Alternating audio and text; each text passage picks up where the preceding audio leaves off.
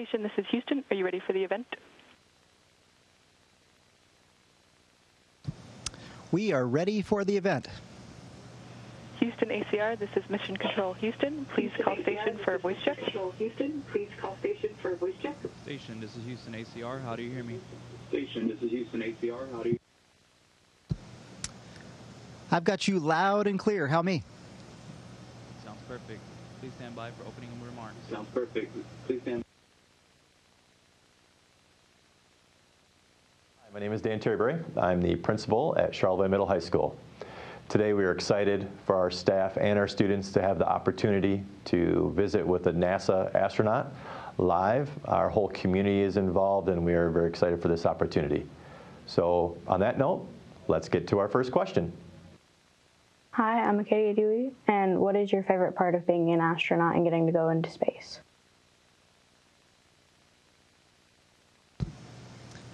Hi, Acadia. Well, I'll tell you what, I love fixing stuff, and I love fixing stuff that's broken. Uh, that happens from time to time up here, and uh, sometimes when it happens on the outside of the space station, we get really excited because we get to go do a spacewalk and go fi- fix it. Um, but I'll tell you, uh, working inside here is is just as fun. Um, one of the other things I really like to do is um, is play with your food. Um, playing with your food up here is one really fun, and two, you know, one no one can tell you to stop. So. Um, lunch is uh, a little bit more entertaining up here. Sometimes we can just uh, lead lead the rusher.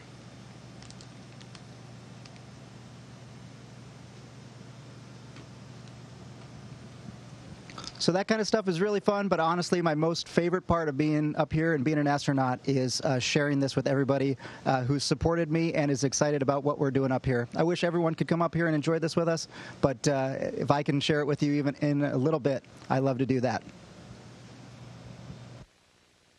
Hi, I'm David Dashalia. What is the hardest thing to get used to while living in space?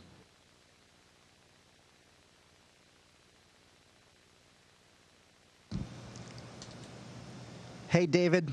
Well, the hardest part for me is that everything floats. Uh, including us. So when we're out doing a spacewalk, our tools try to get away from us. So what we do is we tether them to our bodies or to our spacesuits, and we're tethered as well because we're going to float away too if we're not take, taking care uh, to stay on the space station. Um, this happens in the space station as well, but we don't have tethers like this. This is one of the tools we use uh, out when we're doing spacewalks. Um, but we don't have tethers uh, so much here in the space station. So just this morning, I was working on an experiment. I opened up the bag, and it was just a yard sale. Stuff went everywhere. Um, so I'll tell you what, it uh, it definitely keeps us on our toes. Um, and by things spreading out, things ta- tend to take a lot longer. Uh, in fact, I just made lunch. I was trying not to be uh, to late, trying not to be late to come chat with you, and uh, it took me three times as long to get my food onto the tortilla because everything's just trying to go everywhere. Hi, my name is Talon Jacobs. Have you seen any junk in space yet?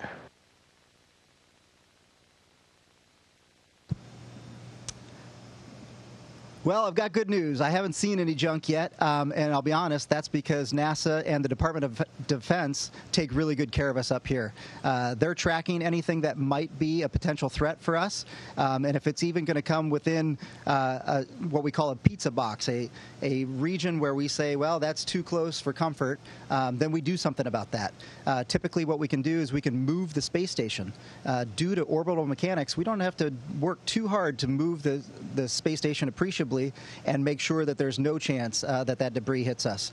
Um, if we find the debris too late um, and we don't have time to move the space station, we've still got an answer there.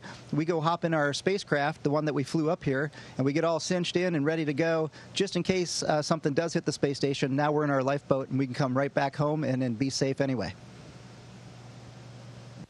Hi, my name is Addison Cunningham. On Earth, we get car sick. Do astronauts get space sick, and what does it feel like?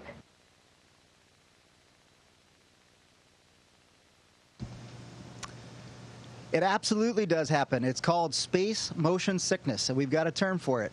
And it's probably not unlike uh, being car sick or seasick, you know, where you're your inner ear is telling your brain one thing and your eyes are telling your brain a different thing and because your brain can't kind of sort out what's going on it starts to make you feel sick at your stomach um, the good news about space motion sickness is uh, if you do feel that way it's typically over within about a day at most and then you're good for the rest of your mission Hi, my name is Sam Pletcher. Do you feel like your training simulations prepared you for your tasks and experiences in space?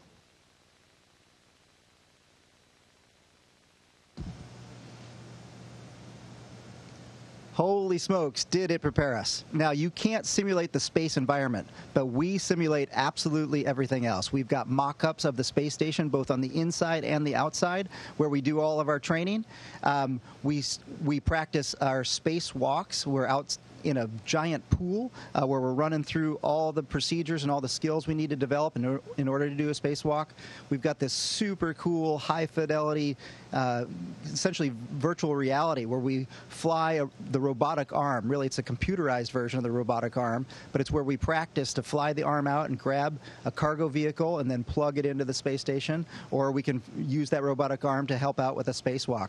So, yeah, the simulations are absolutely incredible, uh, and they make everything uh, seem really natural when you're up here. Should we experience a warning or a caution, you know, we just react just like we do in our training. Um, maybe we just fall right back on that, and no one gets real excited because we can. Uh, we know that we've got a foundation of uh, of great training and incredible people on the ground taking good care of us.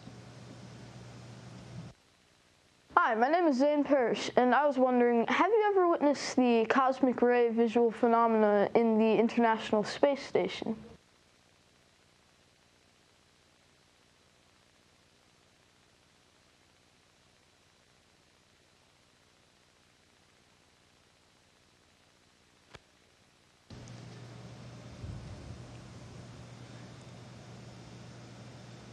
So I think that was a question about cosmic rays and uh, being able to see them uh, in your eyes. Uh, in fact, I have seen that probably two or three times since I've been on board. Uh, when it happens, uh, it's usually at night for me. Uh, right as I'm about to fall asleep, my eyes are closed, and then you can kind of see this quick little white dash. Um, for me, it's really exciting because before I joined the Navy, I did physics. I did high energy physics, and so we have experiments that rely on detectors, and some of those detectors are actually a scintillator. A scintillator is just plastic in which high energy particles decay in there, and we can actually uh, track those. And so I get really excited when I can see this happen in my own eye. I assume it's the uh, exact same uh, phenomenon. My name is Gabriel Boslow, and my question is How was your experience doing the spacewalk?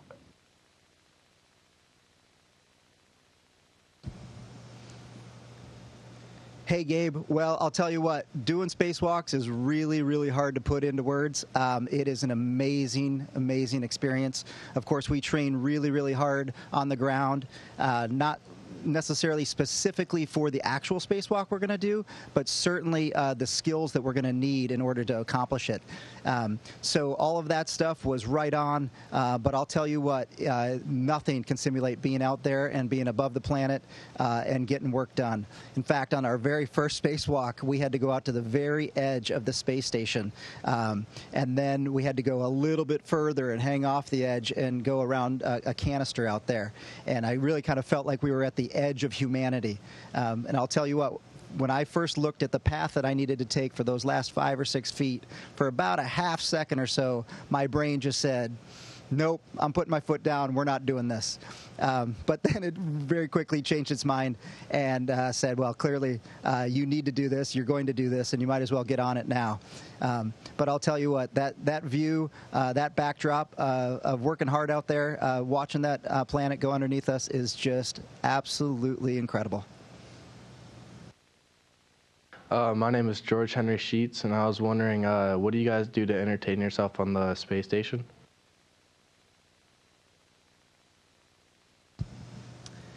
Hey, George. Uh, well, they keep us uh, awfully busy up here. Uh, we're working uh, probably 12 ish hours a day, kind of nonstop, and then uh, we try to get weekends, but sometimes we don't. But we do get some free time. Uh, one of the favorite things to do up here is to look out the window. We have this half sphere, essentially, that hangs out the bottom of the space station. Uh, it's called the cupola, and it's got these seven gorgeous windows, and we just have the most amazing views of the planet. Um, sometimes uh, when we're uh, not looking out the window, we do something that's called uh, astronaut bowling. We try to see if we can make it down the entire length of the space station. Uh, you get three tries at it, and uh, try not to hit any of the uh, any of the walls or the hatchways. Um, and then uh, also, it's really nice to be able to put things and have them stay if you don't put any forces on them.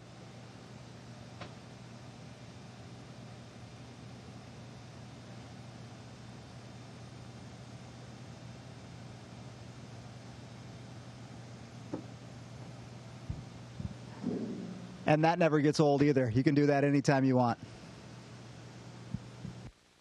Hi, my name's Taryn Carey. My question is what research do you do in space?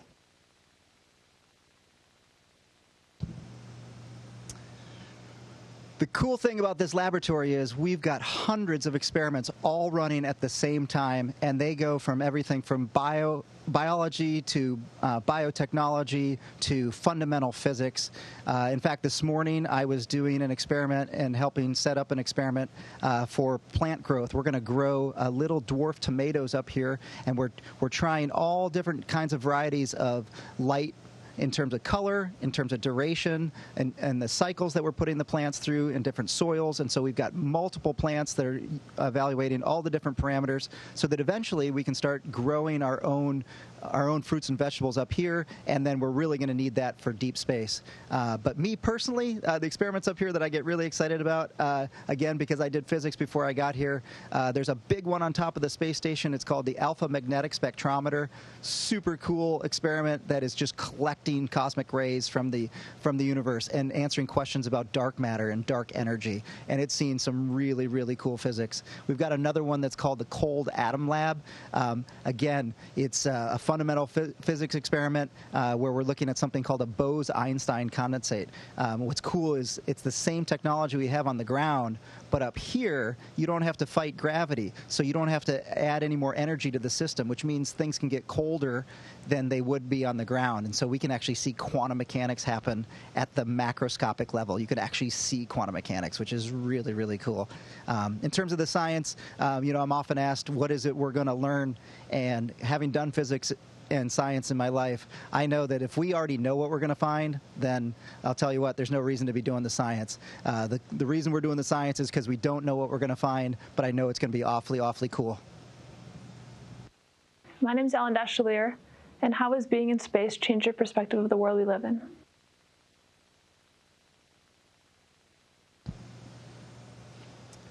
Hey, Ellen, uh, that is a great question. Um, when we are hanging in that that cupola and looking out uh, at the planet, um, I'll tell you, uh, this is, didn't really change my perspective, but it certainly reinforced it. Um, that you know the things that people tend to get angry about and disagree about and fight about, you know, once you have this kind of perspective, you kind of start to see how really absurd some of those things are that we, we get upset about. Um, you, you realize really quickly that if we're all working together and all getting along, we can protect this incredible planet that we have. Uh, we are just so lucky to have this planet. We've essentially won the lottery, uh, well, we have, uh, in, in terms of the, uh, the galactic scale. And so it's such a perfect, perfect planet. There's no part of this planet that isn't beautiful. And that thin layer of atmosphere is all that's keeping us from being just a, a dried up rock. So uh, we just need to take good care of it. And that's the perspective that I've gained from being up here. I'm Ben Matter, and my question is, if there's no running water on the space station, how do you guys stay clean?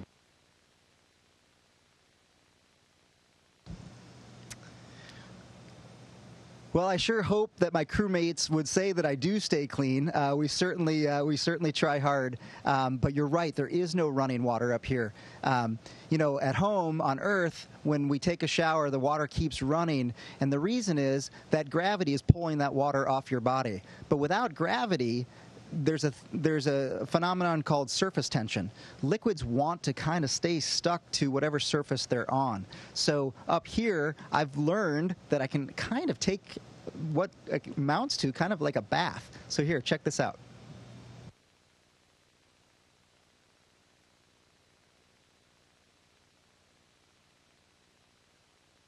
This is probably a really bad idea right next to a uh, an electric uh, microphone. Hold on.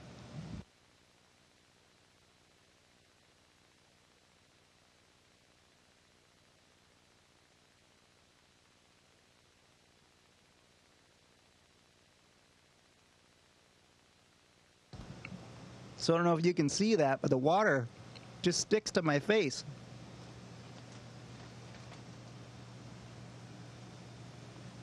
And so you essentially can take a bath because the water is just going to stay there and you can get warm water on you and shake it around a little bit. Um, but yeah, I am missing a, uh, a regular shower and I'm looking forward to getting home and getting one. Hi, I'm Kaylee Pollack. Are there any changes NASA has made to their spacecraft to make them more aerodynamic and easy to fly?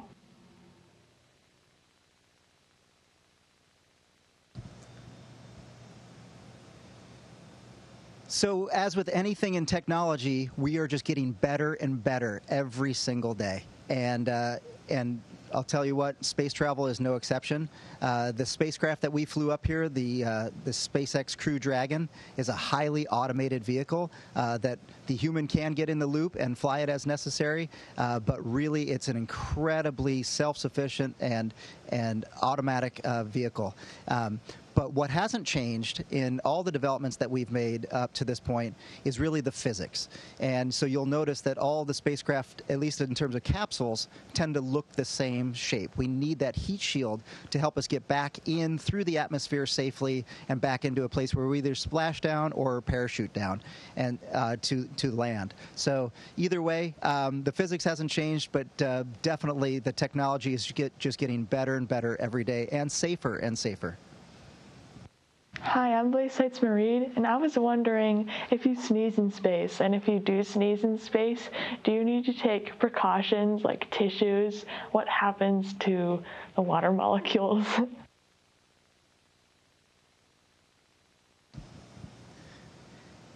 So that is a great question. Uh, if you ask my family, um, I do those kind of full body dad sneezes. They think that I'm uh, I'm doing that by choice, but I'm not. Um, that is just how I sneeze. And yes, I do sneeze up here. And uh, the first couple times I did it, I'll be honest, um, it really uh, was uh, discomforting in the small of my back. And so I found that I needed to brace myself uh, against a wall, maybe push on one wall here and have my back up against another, and then it didn't really hurt. But there aren't many places, as you can see in the space station, where you can do that. So the only place where I could pull that off was in my crew quarters, which is just a little closet, which is where we sleep at night. And that's small enough, it's like a phone booth. And I could kind of get in there and brace myself. So anytime I sneezed, you, or was about to sneeze, you could see me hustling back to try to get to a place where I could brace myself. Um, as far as where the sneezes go, um, we've got a really cool system up here that reclaims uh, almost all the water that we use. Um, so what we joke about is that uh, we turn yesterday's coffee into tomorrow's coffee. Um, it's an incredible system. Uh, we end up with really, really clean water, cleaner water than uh, typically anybody can get out of their tap. Um, but we reclaim everything, including any sweat or other uh, other moisture that comes off our bodies. So, uh, long answer to say, yeah, the moisture from a sneeze probably ends up there too. Although we try to go into our sleeves just like uh, like a good person should. On behalf of Charlevoix, our community, our schools, staff, students, we would really like to thank NASA, all the astronauts for this incredible opportunity they've given us. Um, thank you very much and have a great day.